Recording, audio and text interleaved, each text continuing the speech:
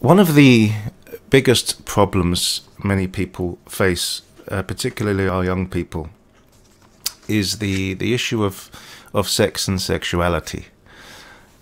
So I'm going to talk about this topic not to be uh, controversial or to uh, to be uh, topical or, anything like that, but simply because I know from my experience that it it is um, a big stumbling block for many people, and I think it it does need to be addressed. It is unfortunately still, uh, it seems, among many Christians, something of a taboo subject, and it certainly should not be.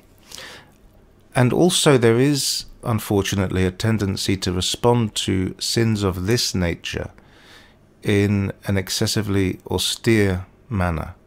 There is very little compassion and understanding in regard to this this problem, and there are many um, other issues around uh, sex and sexuality, uh, which are often dictated uh, by the climate of, of our secular society, and this is particularly the case when it comes to, to homosexuality.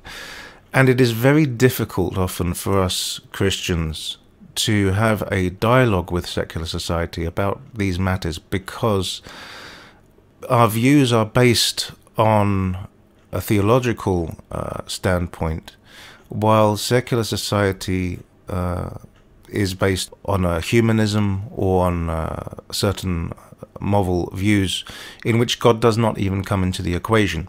And it is often very difficult for us to explain our position on certain things. How do you explain to someone who does not believe in God that what you do with your body matters? That what how you treat yourself is anyone's business but your own. We can't really engage in an intelligent dialogue with secular views on this, this matter until there's an understanding of what what our views are, are based on. Now, the, the first thing I want to talk about, and uh, one of these things that many of our people, particularly our, our younger people, struggle with, is the church's position on premarital sex.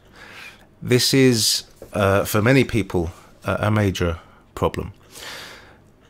Generally speaking, uh, the church's view is that uh, sex is only for, for marriage. And that is not a position I think uh, can can change. But there is unfortunately a lack of compassion towards those who, who fall into this sin or who live that lifestyle, shall we say. And I think we need to consider one of the, the difficulties here. In fact, there is no mention of premarital sex anywhere in the scriptures. Um, I'm not really aware of it existing in the early patristic tradition. And there's a simple reason for this. In that, that time and place, premarital sex was practically impossible, inasmuch as people were usually married by the age of 12, 13.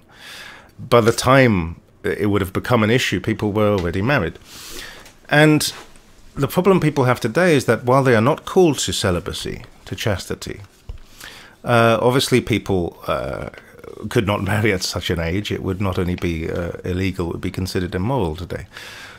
And so they are not called to, to chastity, to celibacy, to monasticism, and they are obviously going to be struggling with this natural impulse throughout their teens, their 20s, even their 30s, 40s, and beyond. And of course, in a sexually liberated society, it is very, uh, it becomes increasingly difficult to maintain what is no longer a socially acceptable standard. It is often difficult to be in a relationship in which the one partner wishes to refrain from this and the other one doesn't. So uh, our people are faced often with with a great difficulty here. And this is not to say that the church needs to change its position on what it considers to be right and ideal, which is that chastity before marriage is is the the way to go. But when where there is room for change, uh, if indeed there is there is a, really a change going on, is how we respond to it. As I said, there's a tendency when it comes to sexual sins to be excessively harsh, as though it is the worst sin that could possibly be committed. While we seem to accept uh, all manner of other sins like pride and anger and gossip and slander, we shrug our shoulders and say, well, nobody's perfect. But when it comes to sins of a sexual nature, we seem to have a much more austere uh, view. And so I think we need to have more compassion and, and give people some hope that even when they fall into this sin, that they can get up and keep keep trying. I kind of mentioned that I'm not sure if this is a change in our church's position there. In fact, when it comes to the way the church responds to sin, there's always been a great deal of flexibility in the Orthodox Church. In the early church, after the persecution of Christians, there was much debate about how we should respond to those who betrayed their faith in order to save their own skin, those who changed religion or sacrificed to pagan uh, pagan gods and so on. And at first, well, many Christians felt that they should be very severe, that they were excommunicated for life. Others said this was too harsh. And throughout the centuries, the church has actually adapted to pastoral needs, in as much as if people have committed a very serious sin, which once upon a time, according to the church's rules, its canons, there was a, a, very lengthy period of excommunication. Later on, the church adjusted that view and said, no, this is too harsh. And I think we need to bear this in mind when we're dealing with sins which in our day are particularly prevalent and, and difficult to deal with more than they were in the past. There is still that room for adapting to how how severely we respond to things. And like I said, this is actually nothing new there's some very interesting passages from our church fathers that talk about how important it is to to have this compassion, to do away with the rules which are written about the severity of, of, of penances for certain sins that have, been committed. One great example is, is St. John the Faster.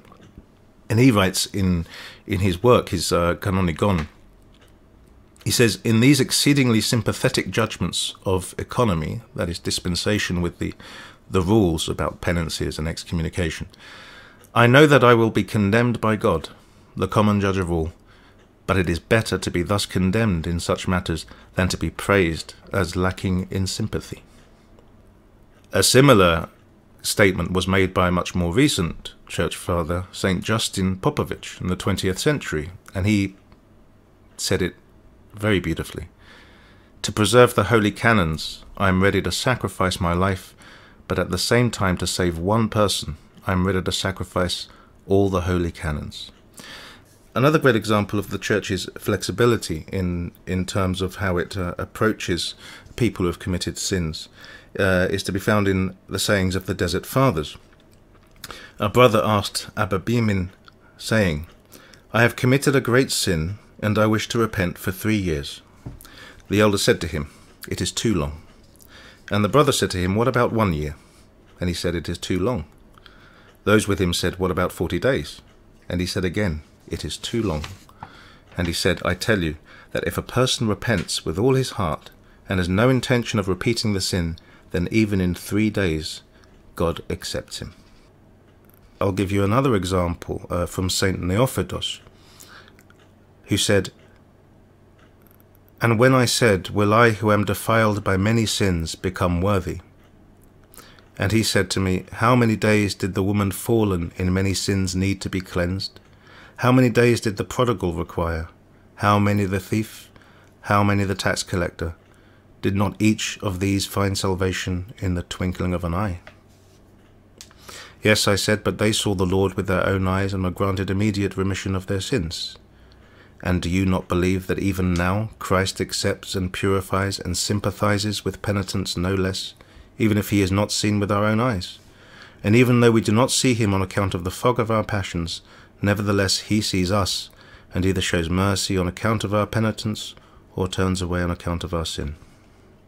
What these statements illustrate is that what we are concerned with above all else is the salvation of human beings, the salvation of sinners, not rules and regulations which are always there to be adapted. The rules are made to be broken.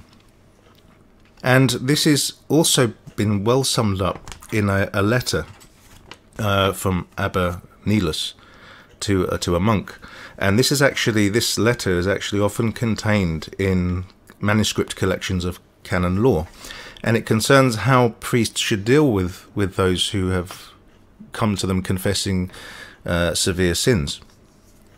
He says, "Note."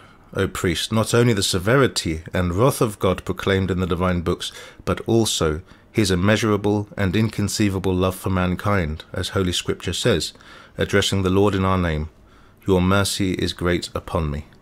As we sin greatly, so when we repent, he pours out upon us the ocean of his own surpassing compassion, extinguishing the fire of our wickedness. You need therefore to make calculation not only with the judgment of Christ, but also with the compassion of Christ, who in our own interest chastises the human race and condescends and suffers with us, so that we do not perish. This reminds me of the passage in the Gospel when a woman is caught in adultery, and some people wanting to catch Christ out by making him contradict uh, the rule of Scripture. The Scriptures say the penalty for adultery is stoning. So, is it right for us to stone her? Should we observe what is written in the Old Testament or not? And Christ puts them to shame with one simple sentence Whoever is without sin among you, let him cast the first stone. And it's worth noting there, he does not say, He who has never committed adultery, but he who is without sin. This goes back to what I said before.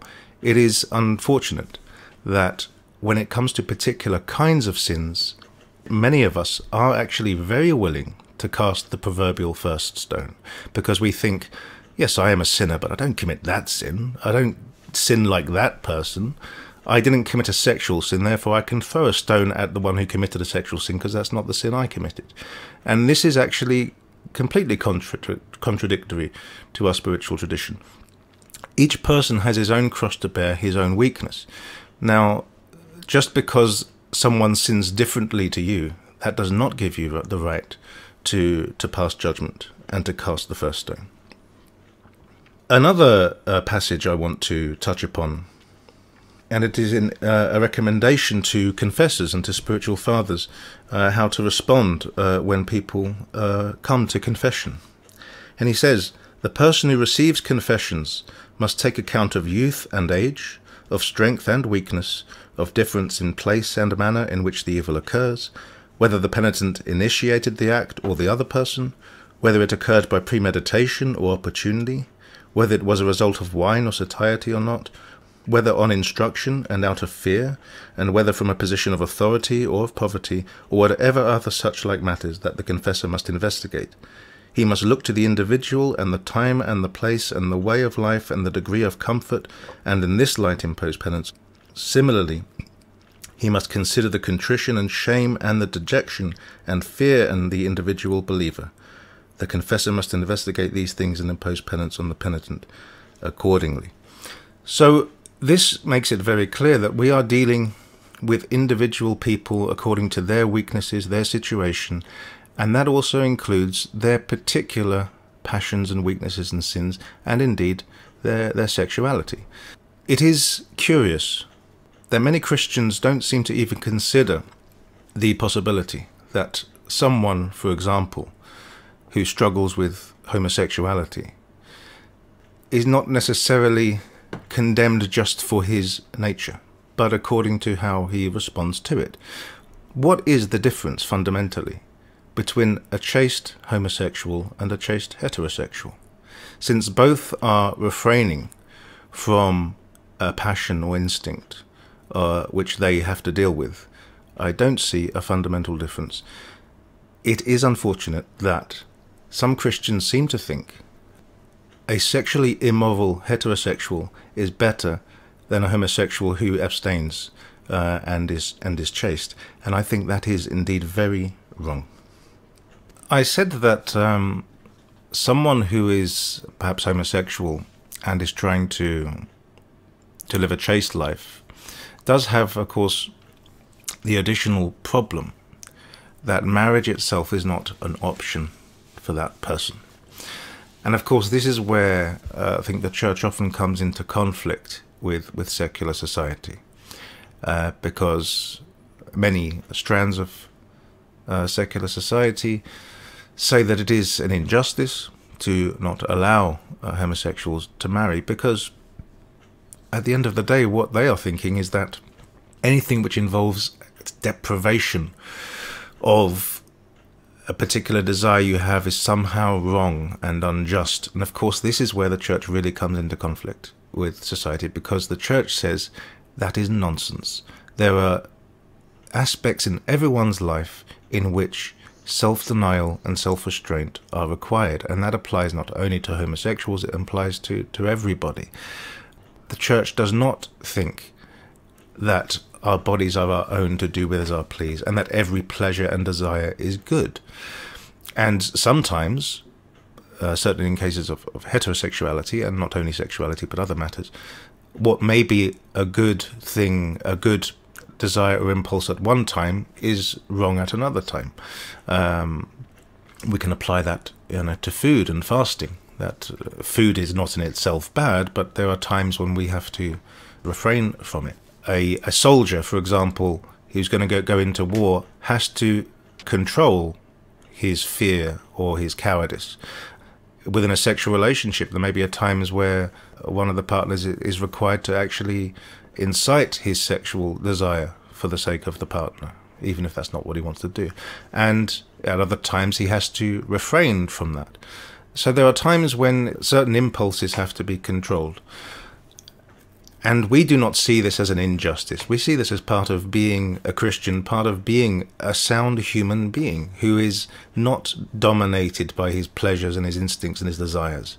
We are not animals. We are human beings who should have the ability to to have some control. And indeed, that is the meaning of the, the word chastity, at least the Greek word sophrosini really means a harmony of soul and body, where you, you have some control, the spirit has some control over the flesh. And so here, this is where we have this, uh, I think, a conflict between a secular view and a religious view. Is that we do not believe that it is wrong to to deny oneself of certain things in the name of some greater purpose or greater cause. Of course, it is difficult for those who do not share a traditional Christian view to understand why homosexuality is wrong at all. We understand that it is not in accordance with the divine revelation we find in scripture, in the church's tradition and history. So we we believe that if someone is so inclined, and of course there are differences of opinion about whether this is actually something someone is born with or something that someone uh, chooses, either way, there has to be an understanding that there some things are just not acceptable. And it is possible to be a Christian who is so inclined, who does have that problem, that issue, to nonetheless uh, battle with it and live a chaste uh, Christian life. As hard as that can be for someone who perhaps is does not feel called to, to the celibate life, it may seem unfair, but it is the cross that they bear. And this is also, again, going back to what we said before, something we must have uh, absolute compassion about. It is not right for someone who falls into that particular sin to condemn them any more harshly than you would condemn someone who is heterosexual and falls into a sexual sin because they are both dealing with their own sexuality. And whether one considers the one sexual acti- uh, action worse than the other, the reality is that they are both uh, battling with their sexuality. They're both carrying their own cross. And we must respond, I think, in the same way. We should not have two sets of rules for, for two people, but there should be a sense that uh, the same compassion and understanding is extended uh, to both. We, we talked about um, the church's position on, on premarital sex, and I think it's also worth mentioning its view on sex within marriage, because the reality is that while sex within a marriage is blessed, there are boundaries. There is a sense that there must still be some kind of restraint. Just as we fast from food, there also has to be a sense of the ability to abstain from from certain sexual activities at least. not every every kind of, of sexual activity within marriage is blessed. There are uh, many forms of of sexual pleasure which are, in the church's eyes, um, a distortion of true love or a perversion of, of true love. And so it's worth remembering that chastity, when we talk about that, it is not just celibacy and complete abstinence, but a sense of of control over one's impulses and working within certain limits and boundaries. This is why, in fact, even in the marriage service of the Orthodox Church, while we are praying that the couple may have uh, children, we also pray that they may live in chastity. Uh, and clearly, here, chastity is not talking about no sexual uh, relations, but a sense of of restraint and of sexual activity that is in accordance with what the church considers to be natural and and right. And of course, this takes us to some other difficult issues, such as contraception, uh, which, as far as I can see, there's no real official position on in the Orthodox Church. Though some Orthodox may disagree, some Orthodox do think it is uh, unacceptable under any circumstances. But again, as we saw from earlier comments, we have to look at individual cases, uh, cases. Um, where pregnancy can could could be very dangerous for the woman, or, or other such cases where uh, contraception may uh, have the blessing of uh, a person's spiritual father in that particular case. What is clear is that marriage is not just about a couple loving each other and, and having a, a sexual relationship within marriage, but also it is about family.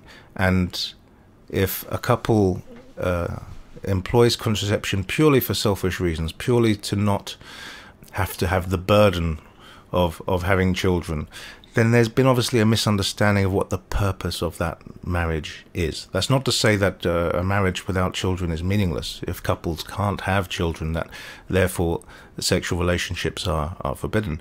But there has to be a sense that marriage is a selfless life and it's not just about having what I want. And that includes uh, sexual relationships, and indeed any any uh, marriage in which uh, the sexual relationship becomes uh, selfish, it becomes simply about self gratification, um, or where it goes beyond the bounds of of a of a monogamy of um, of a natural sexual relationship. These are all distortions of of sex and sexuality. So, is the church's position on sex and sexuality tenable in modern society? Is there room for the church to change its views on these things? I would argue that no, it is not possible for the church to alter its position on its understanding of sex and marriage and of sexuality, its views on on on gay marriage, its views on on abortion, its views on on contraception, on family, and so on. But there is room for the church to condescend to uh, people's weaknesses, to show greater compassion to to people's sins and spiritual struggles. But I would argue that here the church is not really changing at all, even if it seems to be more lenient than it generally has in the past. As I have illustrated, there are plenty of cases where the Church has constantly warned us don't forget how compassionate and merciful Christ is. That is our example. Don't forget the woman taken in adultery and what Christ said to those who were going to stone her according to the law of Moses. He who is without sin, let him throw a stone at her first.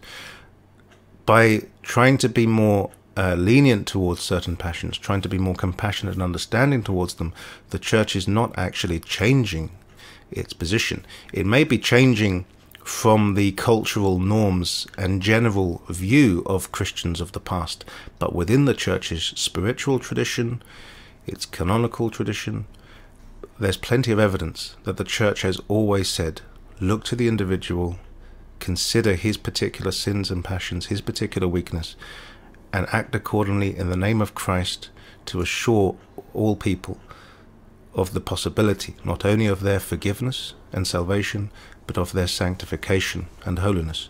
Because the purpose of the church is, always has been, and always will be in all places and at all times to seek the salvation of all.